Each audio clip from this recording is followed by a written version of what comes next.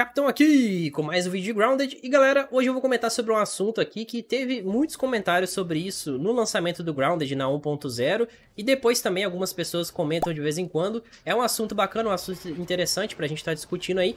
E eu acabei não trazendo esse assunto antes porque é uma coisa que eu acabei não sentindo tanta falta e eu já vou explicar pra vocês no vídeo o motivo disso. Então, já vai deixando aquele like, o gostei aí no vídeo que ajuda demais o canal, se inscreva no canal caso ainda não seja inscrito. E vamos lá para as informações. Basicamente, eu vou falar aqui sobre a questão dos bosses, né, os chefões que a gente tem no Grounded e que muitas pessoas sentiram a necessidade de que devia ter tido mais bosses invocáveis, mais bosses que a gente sumona eles com aquelas receitas do é, semelhante, né, igual ao BLT da Aranha Mãe e o kebab do Louva a Deus. Infelizmente a gente acabou não tendo esses bosses sendo introduzidos no jogo e a gente tem uma série de vazamentos e confirmações aí de vários bosses que a Obsidian trabalhou é, para introduzir no jogo e que acabaram não chegando. Então por isso que eu decidi trazer esse assunto para vocês, mas como eu disse, eu acabei não sentindo a falta desse conteúdo no jogo devido à experiência completa que eu tive no lançamento da 1.0, que a maioria de vocês assistiram, as lives é, da jogatina da 1.0 que a gente fez, o negócio foi insano demais. E desde quando eu comecei a jogar na 1.0, eu sempre fui falando com vocês que é, o jogo precisaria ali em torno de 50 horas, mais ou menos, né? 50 horas de jogatina para a pessoa conseguir fazer tudo. E mesmo assim, não seria suficiente para a pessoa fazer de fato tudo, né? O 100% do jogo, você conseguir a nota máxima no final do jogo, requer mais tempo ainda de jogo e a experiência da história como um todo demanda muito tempo, você fica bastante tempo jogando Grounded até conseguir fazer tudo. E eu achei isso extremamente positivo e a quantidade de bosses que a gente tem na história, que é o caso do gerente assistente, o Omega e o diretor Shimecto, né, dentre as outras fightzinhas que a gente vai tendo por aí no jardim, eu achei completamente satisfatório e isso me fez ter aquela sensação de não ter necessidade de tantos bosses invocáveis, né? É claro que eu gostaria demais de ter mais bosses e os bosses que vazaram, por exemplo, citando um exemplo rápido aqui para vocês, tem a questão da formiga rainha que teve os vazamentos e inclusive já tinha esse planejamento oficial da Obsidian no site deles, que depois eles removeram, então a Formiga Rainha foi, a, foi um bicho que eles decidiram não trazer por uma série de motivos. Eles não devem ter conseguido otimizar da forma que queriam e decidiram cortar a criatura do jogo. Mas sim, a Formiga Rainha fez uma falta. Seria muito legal a gente ter pelo menos mais essa opção de boss invocável. Tem também a questão da Vespa Rainha, que tem uma série de vazamentos e tanto a Vespa Rainha como a Vespa normal, digamos assim, que seria um bicho que a gente encontraria com frequência no jogo foram removidos, foram cancelados e a gente não sabe se eles ainda podem chegar no futuro. E tem também aquele boss lagarto, o Lime Rick, que era um lagartão gigantesco, que ele estaria ali na região da caixa de areia, dentro da caixa de areia, né? É, no castelinho de areia que a gente tem lá dentro. Infelizmente não chegou também. E, na verdade, sendo bem sincero com vocês, esse boss lagarto é o que eu achei mais peculiar de todos, né? É um boss gigantesco que já não seria nem um inseto, né? Seria um bicho bem mais avançado. E eu achei bem louco, assim, eles terem tido essa ideia e ter tido tantos vazamentos com relação a isso.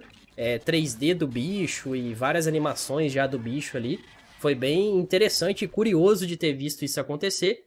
Infelizmente não chegou, seria bem legal da gente ver uma coisa tão insana assim dentro do jogo, mas acabou não chegando e a gente não sabe se vai chegar no futuro de alguma forma. Então, assim, fez falta, principalmente a Formiga Rainha. Eu achava que ia ser garantido que a gente ia ter ela no jogo. Antes do lançamento da 1.0, eu já tinha trago vários vídeos no canal mostrando a fala do diretor do jogo, confirmando que a gente teria vários bosses e as minhas expectativas para esses bosses, mas na verdade o que ele estava se referindo ali era também sobre os bosses da história, né? O gerente assistente, o Omega, o diretor Shimecto. Então ele estava se referindo a esses bosses também e não com relação aos bosses invocáveis. Então, sim, na minha opinião, fez falta. A gente gostaria de ter mais bosses no jogo, mas eu nem consegui parar para falar isso com vocês porque o jogo em si oferece uma experiência de várias e várias horas de jogatina e eu achei a experiência muito completa E os bosses da história são muito divertidos também. Com exceção do Omega, que eu achei ele muito fraco no lançamento, mas mesmo ele estando fraco assim no lançamento, já foi bem legal que a gente precisou se preparar bastante até chegar nele, né? Você faz um longo caminho para conseguir chegar no Omega, e aí você precisa de bastante recurso, proteção, equipamentos e por aí vai. Então ele é legal também, e atualmente ele foi balanceado, ele tá mais difícil, então ele ficou ainda mais legal, né? Mas assim, no geral, os bosses do jogo eu achei muito legais, a, experi a experiência da história e tudo mais, eu achei perfeito, mas sim, a gente como jogador assim, que joga bastante o jogo e refaz e joga várias vezes consecutivamente, acaba fazendo falta, e é por isso que eu acho que muitas pessoas comentaram isso no lançamento. É claro que tinha gente que já tava comentando isso logo de cara sem nem ter, nem ter jogado o jogo, sem nem ter fechado o jogo, e aí eu já não concordo, obviamente, né? Se você tá sentindo falta de uma coisa no jogo, sendo que você nem fechou o jogo ainda, aí complica, né? Aí fica complicado. Mas sim, pra gente que joga o jogo diariamente e que já zerou e continua zerando várias e várias vezes, fazendo novas coisas aí no game, e o jogo promete lançar mais coisas, a gente ficou aí com esse gostinho de quero mais, principalmente sobre a formiga rainha, né? Que é um bicho que caracteriza tanto o Grounded. O Grounded é tão focado nas formigas, mas não só nas formigas, né? Porém, acabou fazendo falta aí essa presença da formiga rainha, que era um boss praticamente confirmado, e eles acabaram cancelando esse projeto aí. E também é um bicho que já tinha o 3D, já tinha as animações, já tinha muita coisa que vazou na internet, através das pessoas que conseguiram acessar, e infelizmente acabou não chegando. Mas o próprio diretor do jogo e os outros devs já confirmaram que eles vão trazer sim grandes novidades aí para o futuro do game. De momento agora a Obsidian está trabalhando em atualizações menores, mas que também são muito importantes e vão melhorar cada vez mais a experiência do jogador, para sim no futuro, quem sabe no meio do ano aí, perto do evento do Xbox, mais pro final do ano ou ano que vem, a gente vai recebendo cada vez mais esses conteúdos grandes, né? E que sim, em algum momento eu acho que a gente vai ter sim introdução de novos e novos bosses invocáveis dentro do jogo.